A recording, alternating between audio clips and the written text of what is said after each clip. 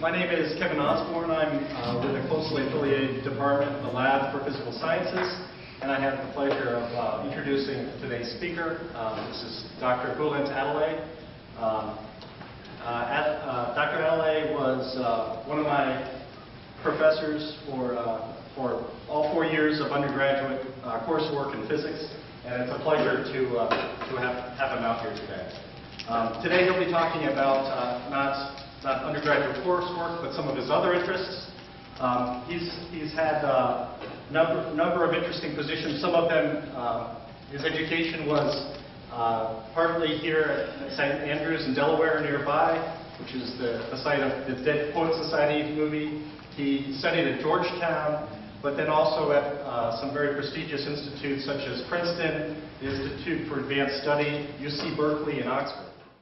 He's always been a, a terrific lecturer, and I'm, I'm, sure we'll all enjoy this. Thank you very much. Thank you very much. It's a pleasure to be here.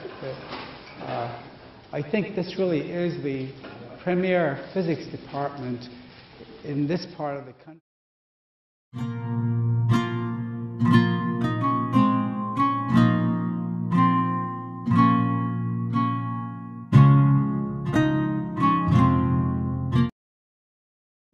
Was 15. He didn't have any education. And if he had been a legitimate child, chances are he would have been a notary just like his father and his grandfather and the great grandfather before that. So it's a, it's a great break for humanity, for our species, that he was illegitimate and he didn't go into. He would have probably been a very good notary, but that's all he would have been. I, I, had sort of an ignominious beginning to my art. My father was a military attaché, a diplomat from Turkey to London, and we lived in a very fine house that my father had to rent. Uh, it had been owned by Lord Curzon. And in the house, there were all these 16th and 17th century family portraits. And the only thing I knew about Leonardo when I was eight was he used to say that the, the eyes are the windows to the soul. Well, these paintings had no soul. You could look at the faces and they didn't speak to you. Well, my family had just bought, purchased a bottle opener that made very round, perfect pupils. And I went around opening the windows on all these eyes. No one really appreciated my artwork for a few months.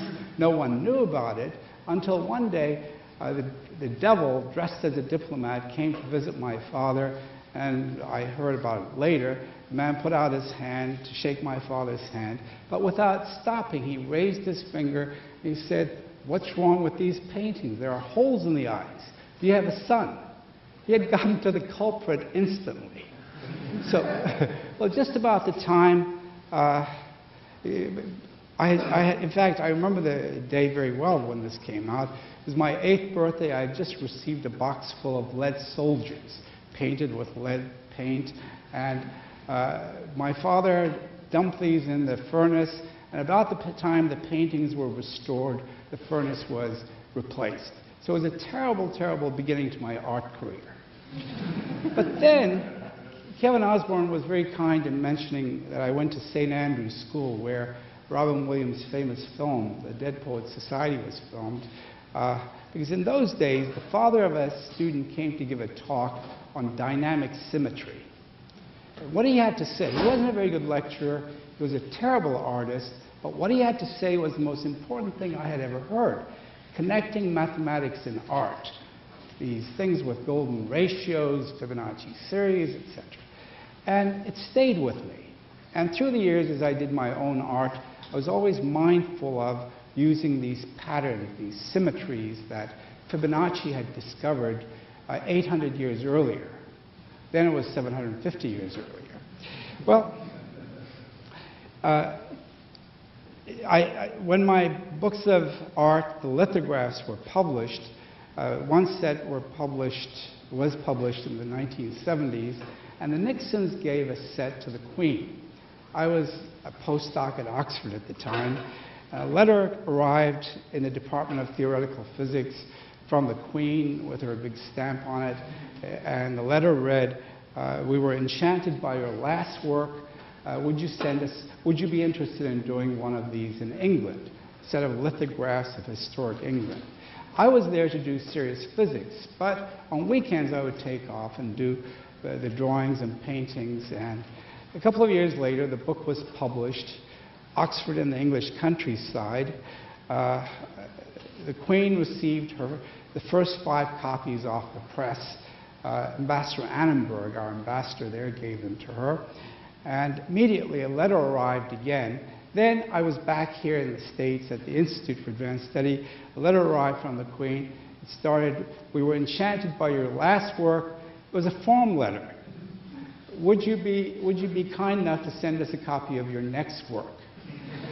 My co-author and I immediately bundled 10 papers we had done on perturbation theory for projectile the Queen wasn't very much impressed with theoretical physics, it turns out. She never acknowledged that and never asked for the next sequel.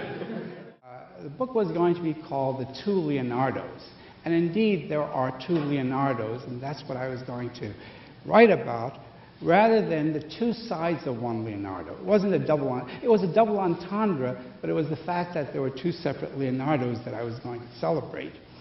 Uh, the Smithsonian, I went with the Smithsonian, they were local, and halfway through the book they called me in and they said, uh, we like the book as it's going, but it's 95% one Leonardo and only 5% the other guy. They said, can you, Leonardo da Vinci obviously was the 95%. They said, can you think of a name with a, with a possessive in it? Right then there was a book called Galileo's Daughter. Maybe some of you have seen it. David Sobel's excellent book. Uh, and immediately I said, sure, what about Leonardo's model? That's a double entendre. It could be the portrait of the most, the most famous portrait and the woman who sat for it, or it could be uh, the modus operandi of Leonardo. And in physics, we like models. And, and Bill Phillips, who's a good friend, really liked that.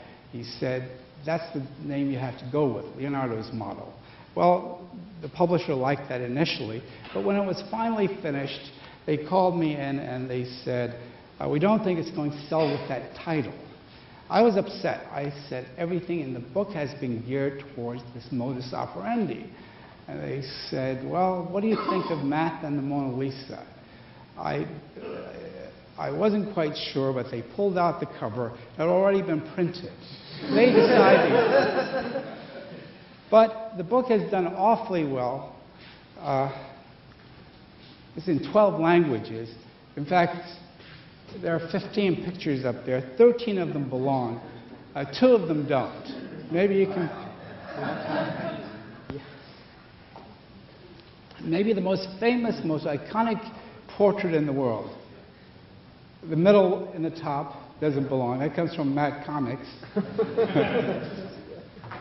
and the other one that doesn't belong is this.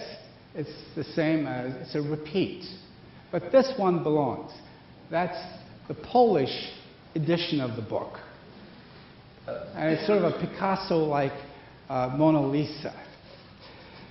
Well, they know much better than we do. This is the new book, and it's uh, been declared one of 10 must-have books for the year. So they do know what to do with titles much better than authors do.